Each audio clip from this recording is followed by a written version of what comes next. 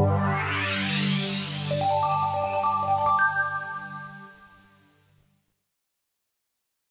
I'm Ashley Ford with Texas Lutheran University. Today I'm talking with Liz Murray, author of Breaking Night, a memoir of forgiveness, survival, and my journey from homeless to Harvard. Liz, thank you so much for coming out to TLU. Thanks for having me.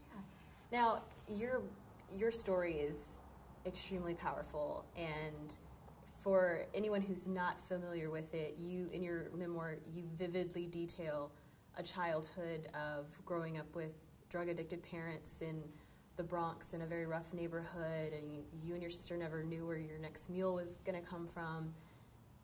What was kind of that aha moment when you got to be a teenager where you knew that you weren't going to let your circumstances and the adversity you faced kind of pin, you know pin you down into who you were going to be as an adult? Well, I think you know I had you know there was that transformative moment, but in a way it, it was a culmination of already I would say sort of an unusual way to interpret my experience up until then. And that was that my parents were for sure addicted to drugs and our entire lives together were shaped by that addiction and they got which is to say they pursued getting high every single day mm-hmm. and it informed their decisions and it filled up our, the hours of our day and it affected the way we interacted moment to moment um, and yet at the same time i also had an experience where in every other way that they could be apart from their addiction they were very loving people mm-hmm. and it was an interesting way i think to grow up because to have my mother sit at the foot of my bed and talk to me for hours and squeeze me and tell me how much she loved me and share her stories with me and my father take me to you know the library every saturday and encourage me to read and and be there for me in those ways but then not be able to feed us properly not be able to get us you know organized to go to school or and have really the life that we should have had mm-hmm. to not have that but to have that love in place I think already I had had an experience that people don't typically have because here I was interpreting, okay, things are difficult, but I'm not necessarily blaming anyone for this. Like, this is a bad thing that's happening, but it's not being done to me. It's a bad thing that's kind of happening to all of us. So I think intuitively, what set me up later on for that change was to grow up with this lesson that people can't give you what they don't have. And when I understood that intuitively, it led to other things. So it led to, okay, like no one's going to show up and do things for me.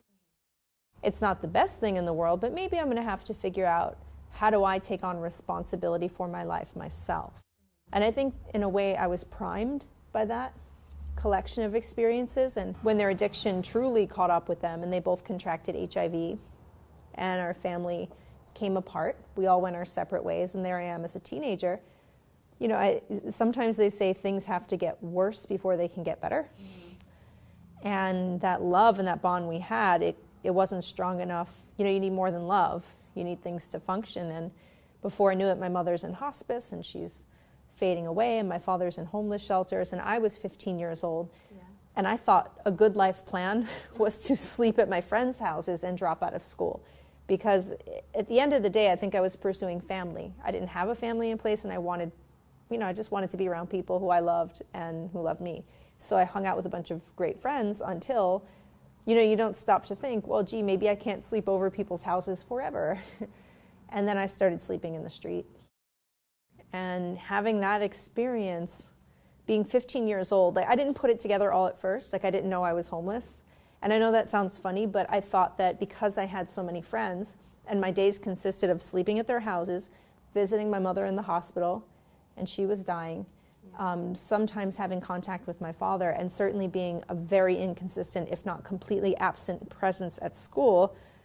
Um, well, I didn't see what was about to happen. I didn't see what was coming. And basically, what was coming was I thought I could knock on people's doors and deal with my, confront my problems later until one night, you know, my friends looked at me, hey, you can't sleep here tonight. Our parents said no. So I slept on the subway. Then I slept in the hallway. I slept in the park. And then I, you know, it added up after a while. In the Bronx, we have a slang term. And that term is, um, you know, if you stay up all night until the sun rises, we just call that breaking night. So I told my friend, I'm just going to break night, meaning I'll walk around all night, until I did realize I was, in fact, very much homeless, stealing food, um, sleeping in hallways. And I don't know how long I could have gone on like that if not for the wake up call. All those experiences yeah. came to a head. And losing my mother, when my mother passed away, I had developed this I don't even know what to call it. Maybe it was denial or procrastination. I knew, like most of us know, right? We all know when we're putting something off. Mm-hmm, we all know, don't we? You know, I know. We all. I, I like to tell people this is not just my weird, quirky story. It's all of us because we all can put our head on the pillow at night and we all have the capacity to close our eyes and, and dream about a better life. We all have that. And for whatever reason, even if we all know that it's important, we tell ourselves, I'm going to go write that book, you know, run that marathon, start that organization, um, be there for my children. I'm going to go do the great thing, not right now. You know, we kind of put it off till later. And it's not, you know, my best quality. And I just started putting off my life. I'll sleep on the street for now. I'll survive now. And school, I'll go to school later. I'll visit my mother in the hospital later. Everything was later. And when she passed away, I got this powerful wake up call because there I was at the age of, I just turned 16, you know, and, and I got to look mortality right in the eyes and say, okay, she had dreams that she wanted to accomplish, my mother. And when she passed away, it was so clear to me that you could go your, your whole life saying, I'm going to do it later. And for me, that was a wake up call to, to be passionate about my life now. And what was that like getting back into school and, and prepping for college, especially, you know, Harvard? What was that process like? Trial by did, fire. How did, how did, you know, yeah, how did you even start that? To, to well, I mean, I knew it was after my mother passed away. I just had that wake up call. And so sometimes we need the why. And if we have the why, I know why I should do this, you'll find the how. Mm-hmm. And the why was so clear because my mother had been homeless when she was a teenager in New York City and she dropped out of school and I suddenly realized that I was living in a cycle. You know, and I went, wait a second, this is that thing they talk about where you do exactly what your parents did and I'm not immune to it. It is happening to me this is not a rehearsal for your life, right? Your life is happening right now. You're not going to come back and try again later. Like, this is it. So, with that in mind, I just started knocking on the door to go back to school. And I, I looked at, for, by the time I was starting, I was the same age as someone finishing. So that was a little problematic because I was knocking on some doors and people kind of looked at me and said, you should be applying to college, but you're applying to high school, you know, and, and that was tough mm-hmm. because I had been chronically truant and I was hiding from the schools that I was applying to, I was hiding that I was homeless. I did not tell them. I had had a bad experience in foster care, so that was like my secret. I gave them my friend's address and I went from one school to the next and I got turned down flat. And it's like I summoned all the will in me that I had to just keep trying one more time. And I, am a big believer in that. You know, if, if something doesn't work out, you can't take that to heart so bad.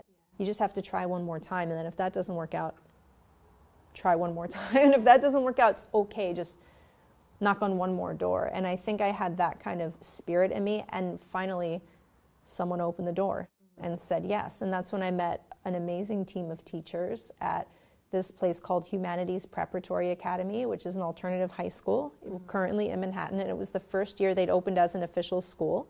I walked in, I think, two weeks after they opened, after I'd been rejected, you know, in, in a lot of places before and here were these wonderful teachers. So I did not tell them that I was homeless, but I began taking on a lot of classwork. I had this idea that I would catch up. I needed to, ca- I was so far behind. So I took about 10 classes per semester. I doubled my course load and I hid my homelessness and I slept at my friends' houses and I encouraged all my friends to come to school, and many of them did. Uh, they encouraged me to stay in school. I we encouraged each other. And you know, like one semester went by and I had great grades, and another semester, and finally I saw that literally one day at a time, I was carving out, you know, a new life for myself. Your your story is also obviously one of a lot of personal motivation, and especially as a, a not just a non-traditional, I mean a, a very non-traditional student. you could say. Yeah. And uh, we do have non-traditional students at, at, at TLU, and what what advice would you say to someone who maybe thinks like I I can't start college right. now. I can't go back. There's what message out of all the messages that, that you have do you hope that they would maybe take away from hearing you speak or reading your book? Well, I not only know what it feels like to be a non traditional high school student going, the oldest high school student going and homeless, but even now, I'm a graduate student mm-hmm. and I'm 35. I just turned 35. I have a four year old and I have a two year old. My husband is in school full time you know everything i do i do to pay our bills and i'm balancing schoolwork. So I, am changing diapers writing papers. I know that if someone's seeing this and they're non-traditional students sometimes you run into that. Um, so we have many different ways to come to our education. Some people will be international students. Some people will come from families who maybe you're the first generation. So if i had a message to them is like don't get attached to what it looks like for other people don't compare yourself. There's a saying, compare despair, but it's really true. You may don't measure yourself by someone else because the second that you start comparing yourself, that person did it faster. This person's already, you know, got a job in the field and they're leading and they're my age and I'm considering enrolling in college and I'm their age, right? I'm, I'm the age of my professor and I'm starting college. I know exactly what that feels like. And um, I say you make the road by walking. You do it the way you can in the way that works for you. And do not compare yourself to anyone else because at the end of the day, all, it, all it's about, you're going to get knocked down, you're going to get discouraged. Bad things are going to happen to you, but you're not defined by that. You're defined by what you do next. So it's about stick with it, drop the application. You did bad in the class, pick it up and keep moving, keep going. Because when you have that degree and you've reached the goal at the end, you you achieved your goal and it wasn't about what it looked like compared to someone else. Amazing message wonderful inspiring story. Thank you so much for joining me. Yeah thanks for having me and you know really glad to be here